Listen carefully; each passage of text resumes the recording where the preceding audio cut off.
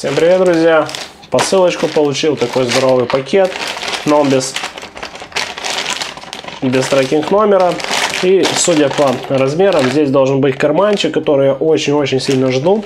Это карманчик, который я поставлю вместо CD-ROM и в который поставлю э, жесткий диск.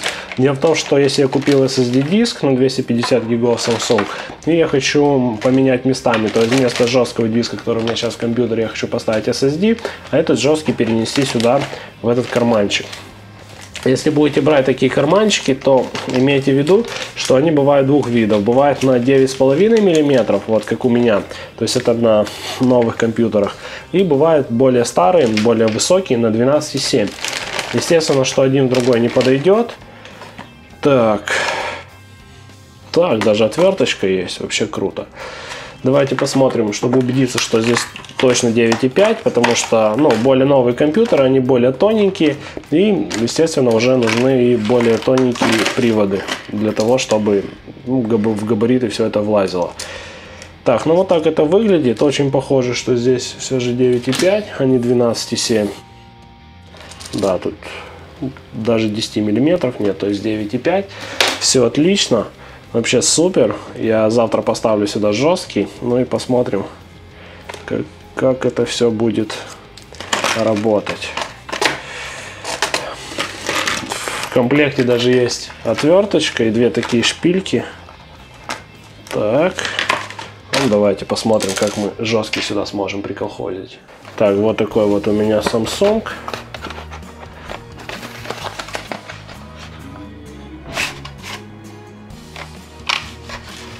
Так, это всякое барахло, которое нам не нужно.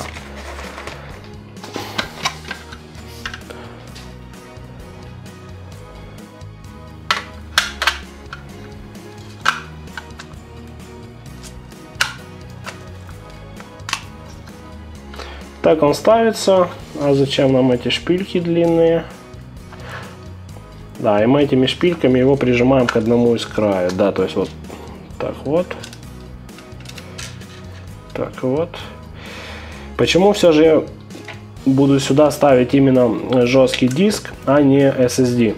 Во-первых, ну, я читал, что в вот этой шине данных для CD-ROM, то есть она идет урезанная, то есть она не такая скоростная, как эм, шина данных в месте для жесткого диска. Я не знаю, так это или нет, это все можно узнать, почитать, э, характеристики, то есть в этом проблем нет.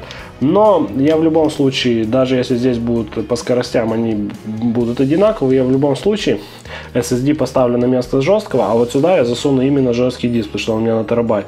Дело в том, что для того, чтобы снять жесткий диск, мне нужно разбирать почти весь компьютер. А для того, чтобы снять вот этот вот эм, CD-ROM, мне нужно открутить только один болтик.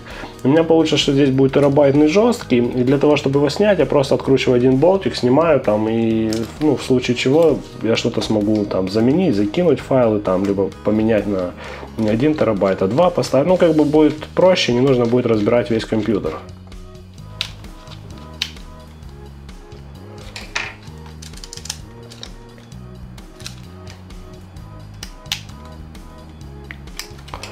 Ну что ж, вот так он держится, то есть эти шпильки, они входят и они э, распирают вот этот вот э, жесткий диск, и он просто упирается в одну из вот этих вот граней. Здесь он держится на самом разъеме, ну и держится достаточно хорошо. Но в любом случае вы же свой компьютер кидать не будете. Не, ну так он, конечно, уже вылез. Так, здесь есть такие бортики, наверное, он под него должен залезть, но наш SSD не залазит. Вполне возможно, что стандартный жесткий диск под вот эти вот бортики нырнет, и все будет хорошо. Или нужно сильнее прижать. Ну, мы еще посмотрим. В общем, так оно все крепится. Здесь все уходит за подлицо, то есть ничего мешать не будет. Здесь все в пленочке. Это все, конечно же, поснимается. Ну, теперь осталось только, чтобы этот карманчик работал. Ну, в принципе, здесь один только вот этот переходничок. То есть тут, как бы, по большому счету, и не работать нечему. Так, а это что у нас? Мы этим тоже, наверное, можем подтянуть. Ага, то есть тут еще есть шпилечки. Я их не заметил сразу.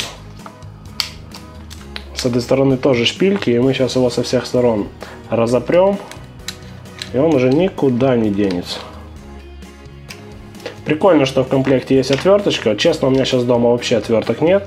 И я вот смог благодаря вот этой отверточке сразу все проверить. Ну все, он уже не вылазит. Уже держится надежно. Блин, я прямо сейчас поставлю и проверю, работает он или нет. Я не выдержу. Я не выдержу столько ждать.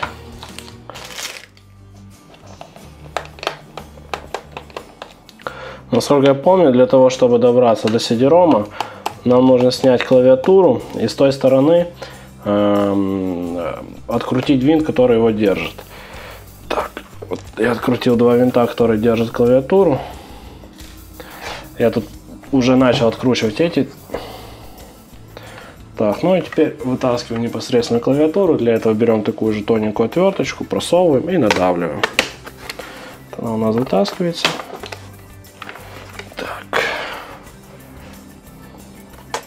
Здесь должен быть шлейф, нужно аккуратненько все делать. Да, вот он винт. Сейчас снимем шлейфик. Клаву сняли.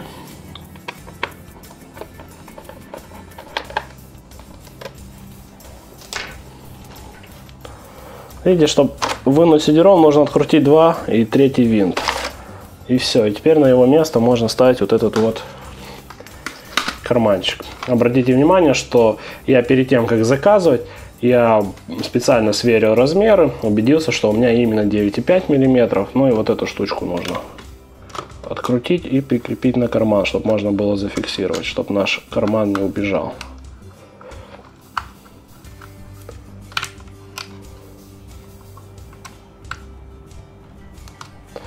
Да, ну и вот это вот, конечно же, заглушечка. Ее бы еще сюда нацепить.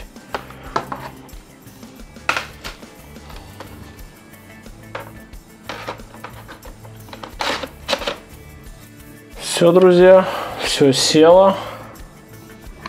Ну и попробуем прямо так и все и включить. У меня мышка работает, клавиатура нам в принципе не нужна. Да, вот у меня появился здесь новый том. Так, как вам показать его? Вот он имеет 205 гигабайт свободных из 232. Вот мой жесткий диск на 1 терабайт. И вот мой Samsung на 250 гигабайт. То есть все супер, все отлично. Естественно, я их потом поменяю местами, установлю систему на SSD-шку, а жесткий диск будет просто как, как жесткий диск, как э, файловое хранилище. Вот такой вот карманчик, ребята. Осталось мне еще приделать вот эту вот штуку. И думаю, что все будет очень и очень классно. Ну все, всем спасибо, всем пока и удачи вам.